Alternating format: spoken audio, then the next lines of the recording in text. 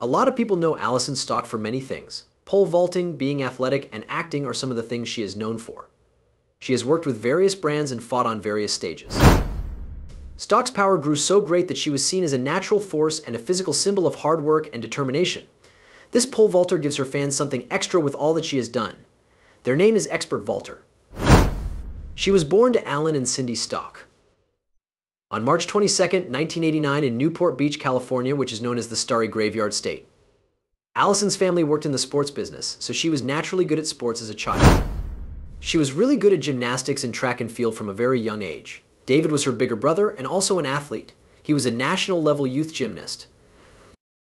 So at first she tried to make a living as a dancer. She was trying to follow in her brother's ways, but she had no idea that her path would change. We'll talk more about that soon. Before she moved from gymnastics to pole vaulting, she started her journey on the hot tracks at Newport Harbor High School. It was at this point that her love for the sport grew, and she did amazing athletic things that set many marks. The best jump she ever made was 3.81 meters, and in 2004, she won the US title for girls ages 15 and 16. Stokke was just getting started. In 2004, she broke the American record for a high school student with a vault of 3.86 meters. She broke the record for a high school junior the next year in 2005 when she jumped 4.11 meters. Also, her vaults were some of the best ever done by an American girl 15 or 16 years old. She won twice at the CIF California State Meet. In her final year of high school, she had a new best of 4.14 meters and was ranked second in the country for high school events. In that year, she came in ninth at the National Youth Olympics. So, pictures of Allison went popular on the internet when she was only 17. It made her famous overnight. How did these pictures get made? A Californian track and field website took pictures of Stokke participating in New York early in 2007. The pictures were then posted online with the caption pole vaulting is sexy, barely legal, which made fun of Stokke's good looks. In the picture, she was holding a pole and fiddling with her hair, as if she were ready for the battle to begin. When a tribute website with many pictures of Stokke performing in the pole vault competition went live, it impressed many social media fan groups and gained thousands of followers. Stokke had no idea that this picture would cause such a big argument. The picture was shared and published on many blogs, websites, and social media sites. In just a few weeks, her pictures were so popular that they were shared on many websites and finally got attention from the biggest news outlets in the United States. The shot was talked about in the Los Angeles Times, the Washington Post, and the New York Times. Then the picture went viral around the world. The picture was talked about by the BBC, the Australian Daily, the Sydney Morning Herald, and the German weekly Der Spiegel. There was a dark price to fame, though, and it cost her job. The shots that made her famous were now a huge problem. Allison all of a sudden found herself being watched and judged by people she didn't know online. They said things about her hairdo, clothes, and everything else. Things got worse. Her private information was found on the internet. Soon, she got unwanted attention from people who sent her emails and texts she didn't ask for. Some of these emails were sexual slurs and threats. The invasion of her privacy led to a heated debate about whether it is moral to share private pictures without permission. Instantly, Stokke was the target of online bullying and objectification, with many people commenting on how she looks instead of her sports skills. As the picture spread, people on the internet began to treat Stokke like an item. For people who didn't know her for her sporting skills, she was just another pretty face. Stokke was backed up by people who liked how good she was at pole vaulting. It was bad that CBS showed her story on TV, because it showed how dangerous it can be for teens to be sexualized in public online. Even though she was getting mean comments online, Allison was determined to focus on her love of sports and not let the bad comments bother her. She kept working out hard and doing well in her sports. Showing herself and those who didn't like her that she was more than just a pretty face. As you'll see though, this was hard enough. The sudden rise in her online fame made it harder for her to focus on pole vaulting. It was harder than she thought to deal with the unwanted attention that comes with being famous on the internet. At first, Stokke tried to handle things on her own, but she knew something had to change. After getting a lot of emails and requests for picture shoots, she finally hired a media consultant to help her deal with her newfound fame. The interview she did about the pole vaulting method was put on YouTube and has since been watched over 100,000 times. But most of the online talk and opinions were still about how she looked, and some of them were getting even worse. When she was young, her lawyer father began searching the internet for evidence of crimes or stalkers. Then something awful took place. The state of her mind and emotions started to get worse. This makes Stokke feel really low, even if it's not against the law, she told the Washington Post about her situation. It's almost like it doesn't matter how hard I worked at pole vaulting and all the other things. That's not seen by anyone. She also said, nobody really sees me. People didn't seem to care about Allison Stokke's concerns, which led to questions about how private photos should be used. There is no way to avoid the media's role in keeping the debate going. According to Der Spiegel, Stokke has become a sex symbol by accident. The attention had an effect on her mood. The staring made her feel creepy and a little scared, so she started locking doors after her. Her athletic achievements were overwhelmed by the constant attention and talk about how she looked, but the attention gave her chances she might not have had otherwise. Multiple endorsement offers came her way and she was asked to appear on major TV shows. A lot of people followed her on social media as well.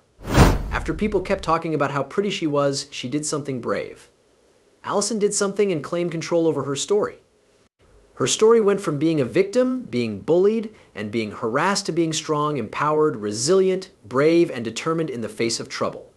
As Allison Stokke became more well known, more and more photographers started to come to her events.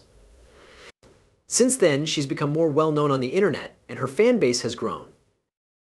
College coaches were interested in her because of how well she did in high school. Then, a big step forward happened, and it wasn't the picture's fault. She got a scholarship to play sports at the college level at the University of California, Berkeley. Because of her grant, she was able to study sociology and keep competing in pole vault. In college, she joined the track team and started running for the California Golden Bears. Soon, she started setting records. In her first year on the team, she set the school record for a freshman athlete with a vault of 4.11 meters, both inside and outside.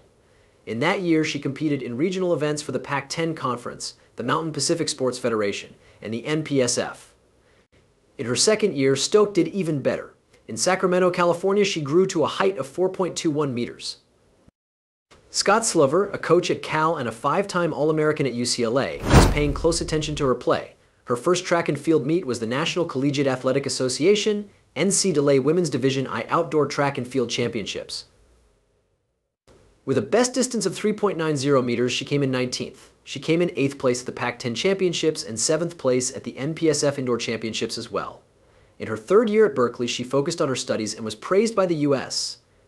government for doing well in school. The Pac-10 and MPSF conferences, the Track and Field and Cross Country Coaches Association, and the Academic Honorable Mention list all gave her high marks in school.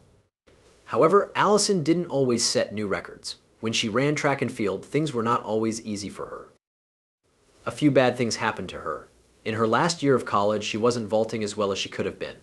At the Pac-10 championships, she came in 8th, and at the regional, she missed making it to the NCAA championships by two spots. Still, Stokke came in ninth place at the 2011 NCAA Indoor Championships at Texas A&M, where she made the All-American list with a 4.10 dash meter jump on her first try. Then, after her loss, she had some more sweet wins. At the 2011 NCAA Indoor Championships, she was named an All-American, all of her academic successes at the regional level were recognized, and she also did well in sports. She was also named MVP for her great work on the track team. Then Stokke got some good news. She has been chosen to compete for the United States in world events. Her hard work and commitment finally paid off. There was, however, a situation that had a big effect on Allison. For example, when she tried to make the American Olympic team in 2012 after getting her degree, she wasn't tall enough as one of the 12 individuals competing. Then the same thing took place at the London Olympics in 2012. Because she was too tall, she wasn't able to fight at the highest levels. Even though it was sad, she kept playing the sport she loved. So, after getting hurt at the Olympics, her best jumps were 4.20 meters in 2013 and 3.95 meters the next year. They weren't where she usually is, but she kept going and got better. Even though it was better, her best jump of 4.15 meters in 2015 did not put her in the top 30 American women at the National Pole Vault Summit that year. For a long time, Stokke kept competing in national level events even though she wasn't very high in the results. With a height of 4.15 meters, her best finish at the Chula Vista OTC High Performance Meet in 2016 was 7th. The next year, she got taller to 4.27 meters and came in third at the Austin Longhorn Invitational. Even so, Allison stayed strong and worked hard to improve her skills. She kept working hard at training. In order to reach her ultimate goal of playing in the Olympics, she is pushing herself to new heights. She worked hard at both school and sports, which made her stand out from her friends and earned her the respect and admiration of both her teammates and teachers.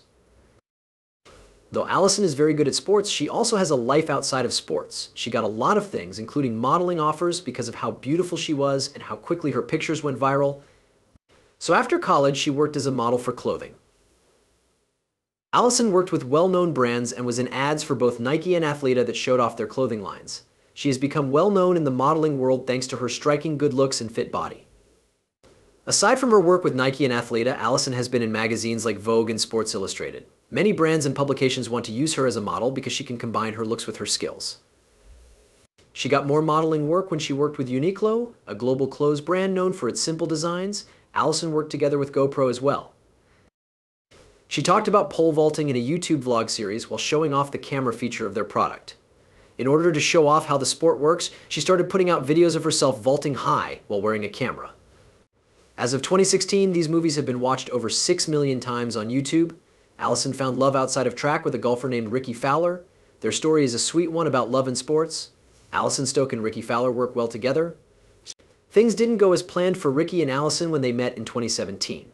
Rick Yutaka Fowler, better known as Rickie Fowler, is an American professional golfer who was born December 13, 1988. He plays on the PGA Tour. Rickie has competed in major titles and PGA Tour events. He is known for his unique style, which includes his signature orange suit. Before he turned pro, he was the best amateur boxer in the world for 36 weeks in 2007 and 2008.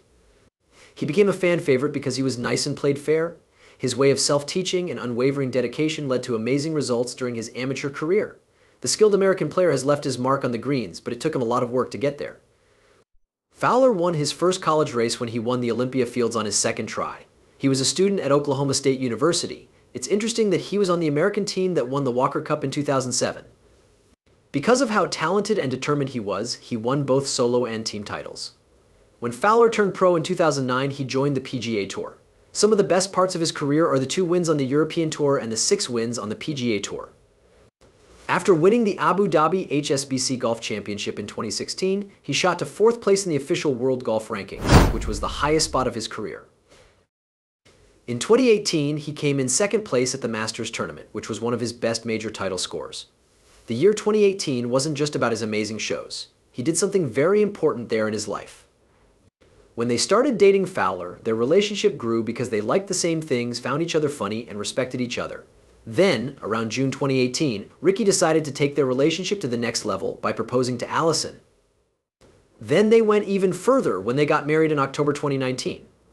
There were many happy people at their wedding, making it even more special. When they gave birth to their daughter in November 2021, they made their family even cuter. Their journey together has been full of love, laughter, and a huge number of special moments. Rickie and Allison continue to support each other and love the family they have built as they become parents. They will always be devoted to each other and their daughter, and their future together is full of exciting opportunities. A lot of fans want to know where Allison Stokke is because she seems to be having an adventure. Allison Stokke became famous on social media after she stopped professional vaulting. Her story shows how to be strong, talented, and deal with the complicated side of fame. She is now one of the best athletes in the world because of how well she does in her sport. She also uses her fame to support female athletes and promote body positivity. She now talks about the picture that made her famous as if it were separate from her. She says that over the years, she has been able to separate herself from what happened.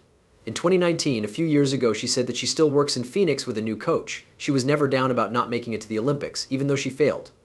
She kept going instead, hoping that one day she could fulfill her lifelong dream of representing her country at the game. Many people look up to Allison Stokke's story because it shows that with hard work and drive, anyone can get through anything and become great. At a young age, she has had to deal with a lot of attention and objectification from the public. However, she has shown amazing strength and determination by following her love for pole vaulting. Her job as a pole vaulter is still going strong, even though she isn't competing in national events anymore. There are times when she's not doing these things. Those times are spent with her family or modeling for sports brands.